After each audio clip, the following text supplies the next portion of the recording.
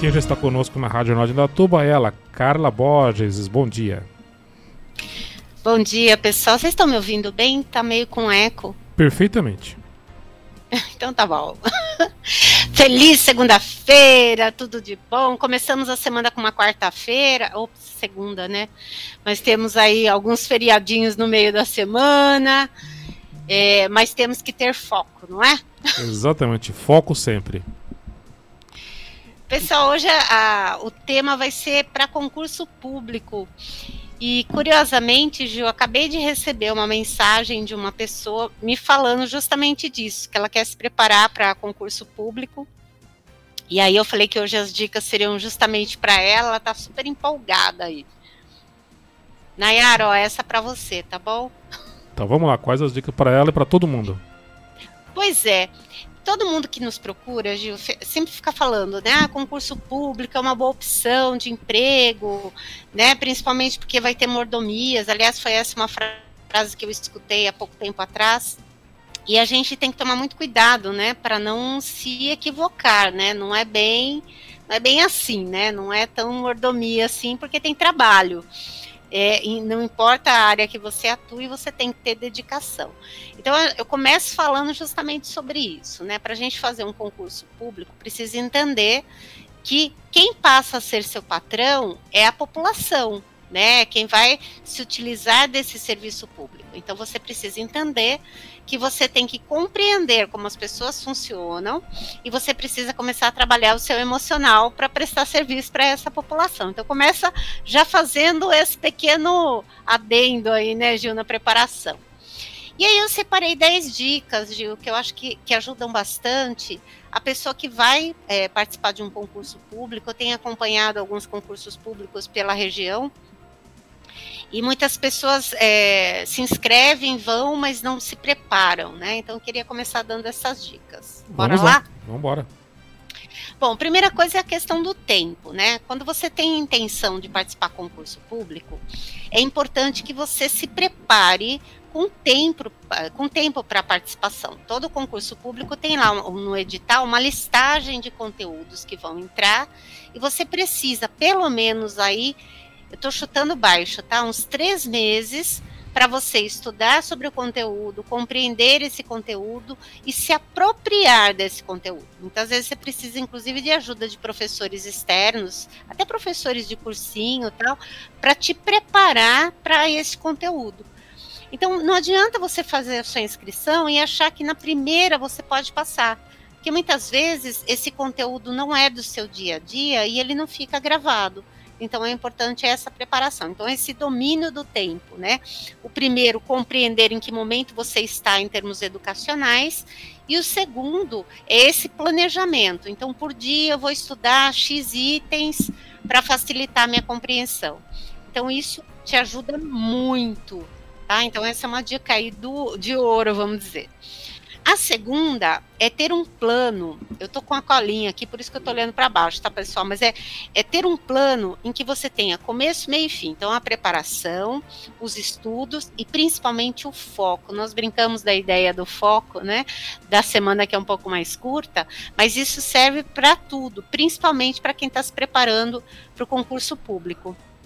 E aí vem uma terceira, que é a questão da visão de futuro. O que, que você pretende participando desse concurso público? Ah, eu tenho intenção, eu vou entrar por, uma, por um canal para ver se lá dentro eu consigo ser promovido. Cuidado. As promoções, elas também seguem uma ordem e nem sempre vai ter a vaga que você está querendo. Então, eu sugiro que realmente você busque é, alguma coisa que te dê essa oportunidade, essa condição né, para concorrer à vaga que tem aberto e que você possa entrar e já fazer sua carreira ali dentro. E carreira no serviço público, pessoal, existe e é bem bacana, né? Inclusive tem algumas premiações aí de funcionário padrão, já participei de banca, é super bacana. O terceiro, né, o quarto, é, a quarta dica aí é compreender os momentos, né? O concurso público, gente, ele não é a solução do seu problema financeiro. Né? A primeira coisa que a gente precisa entender é que a gente precisa arrumar a vida. Né? Se você está com a vida totalmente atribulada por conta de, de, problemas financeiros, talvez o concurso público não venha te ajudar.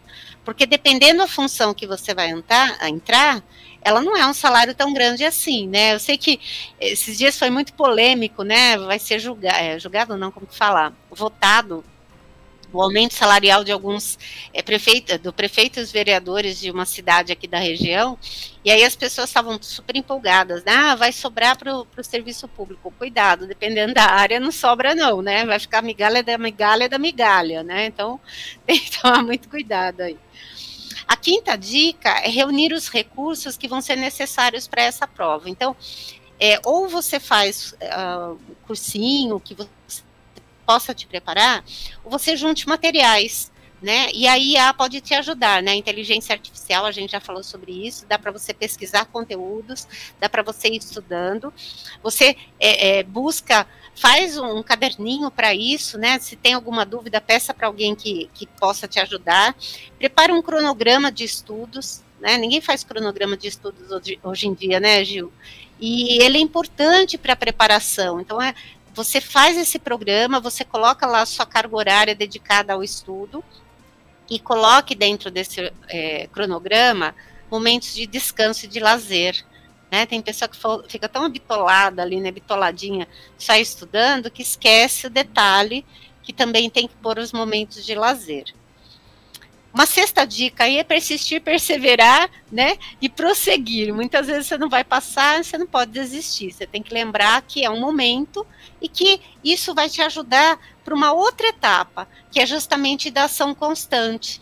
Né? Se você faz essa preparação, se você busca aí mudanças de estratégias, se você olha para aquilo que não deu certo, defina sua meta, redefina essa meta, né? Começa aí a acelerar aí o seu, seu grau de estudos, de dedicação, que isso te ajuda. Fale, fale, Gil. É, prova para concurso público é tipo um vestibular, né? A tensão é a mesma. Ah, é, é uma boa comparação, Gil. Enem, né? Tem gente que faz Enem, se dedica tanto. Concurso público é a mesma coisa, pessoal tem que ter uma dedicação, ali a pressão é a mesma, né? Você tem um tempo do dia, é, geralmente eles marcam a tarde, né? Então tem muito sol, tem muito calor, então a pessoa tem que se hidratar, tem que se alimentar bem antes. É, então tem toda a tensão do vestibular. Né? Só que a diferença é que é para sua carreira, né? O vestibular ele vai te preparar para a carreira, mas no concurso público ele é a carreira em si. O Carla, tem um perfil de pessoas que podem ser servidoras públicas? Que goste de gente. de uma forma bem resumida. Sabe por quê, Josi? O que eu tenho visto, as pessoas reclamam tanto, né, do, do atendimento é, de servidores públicos em alguns órgãos, né? E só que quando ele tá com esse chapéu, ele faz a mesma coisa. Então eu, eu vi algumas entrevistas, eu achei bem bacana, tinha uma senhora que ela estava fazendo, participando, né, de concurso público para atuar como merendeira numa escola, né? E ela coloca assim, é que eu vi como a merendeira da escola da minha neta tratava mal os alunos, eu não quero fazer igual, quero fazer diferente né? Então, às vezes, a gente não compreende isso. Então, precisa entender que vai lidar com o público. Se não gosta do público, o pessoal vai fazer outra coisa. Na boa, assim, com todo carinho e amor, né? Verdade com amor, vai fazer outra coisa. Para serviço público, você tem que entender que você vai servir ao público. E às vezes aquele público tem uma característica mais explosiva, dependendo da, da cidade ou da, da característica cultural daquela população, ela vai ser, inclusive, desculpa a expressão, mas mal educado. Então você tem que se preparar internamente, né? Essa é uma outra dica, né? Se, pre se preparar emocionalmente para lidar com isso. É, é, controle emocional, muito controle emocional eu falo que é até inteligência emocional, porque que ela vai misturar, né? Porque todo mundo tem um índice de agressividade é, alto, né? Ele tem que ter o controle emocional para controlar essa agressividade, que faz parte da ação. A inteligência emocional é você colocar todas as suas emoções sob o guarda-chuva da tua inteligência, né? Então você começar a pensar, olha, hoje eu não tô bacana, não tô legal, como que eu posso controlar isso? A minha voz como tá saindo, como que tá meu humor esse dia? Então eu preciso trabalhar tudo isso, porque às vezes a pessoa nem foi mal educada comigo, mas como eu tô numa vibe ruim, eu acabo destratando essa pessoa achando que ela tá falando é, de jeito inadequado comigo. E às vezes não é assim. Então, Carla, mas sobre isso tem muita gente também que chega no serviço público e fala assim: ah, eu estou pagando o seu salário, né? Diretamente essa pessoa não está pagando o salário, né? Diretamente ela não é patrão de ninguém, né? Sim. A gente precisa. É, entrar nesse terreno que ele é um pouco perigoso, mas é necessário também a pessoa que chega para ser atendida não agir dessa forma. Isso é sinal de arrogância, né, Josi? Nós temos que lembrar que o servidor público, na verdade, a gente paga os impostos Exatamente. que são redistribuídos. Então, não é só você que acha que é o dono, né, do, o, o patrão dessa pessoa. Tem mais um montão de gente. Então, a gente precisa aprender que cada pessoa é, precisa respeitar. Eu acho que o respeito é a palavra-chave em tudo isso. Tanto o servidor público quanto a pessoa que é servida né, por esse servidor, ela precisa entender que ela tem é, uma coisa chamada respeito. E a tua liberdade, como dizia a minha avó Regina, né, tem a distância de um braço, ou seja, você tem um limite que você precisa respeitar, porque o outro também tem esse direito, o mesmo direito que você tem. Respeito em tudo, né?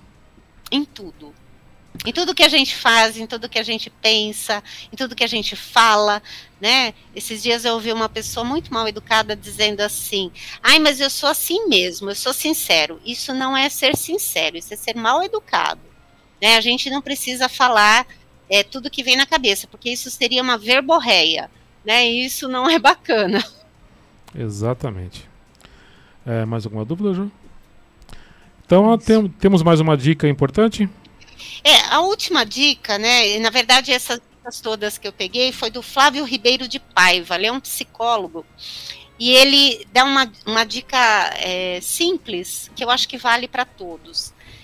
Participe de todo concurso público que você puder né? E todos os concursos de modo geral, não, não só concurso público, mas também de Enem, né? De quem é aluno de faculdade de ENAD, porque isso te prepara. Quanto mais você participar, mais você começa a compreender a lógica de como são preparadas as provas, mais te deixa seguro de participar dos processos. Então, você que reprovou várias vezes no concurso público, não pensa desta forma. Pensa assim: olha, eu fui me preparando porque vai chegar o meu momento, né? E com foco e na carreira certa que eu quero seguir, vai dar tudo certo. É isso daí. Semana que vem, um mês que vem, né? Tem Carla um Borges. É, tem Carla Borges novamente aqui no mês que vem, conhecido como segunda-feira que vem também. É, e amanhã é o dia das bruxas, meu dia preferido do ano. Fora o meu aniversário. Ah, bom. 11h37, então até segunda-feira que vem. Tchau, tchau, pessoal. Tchau.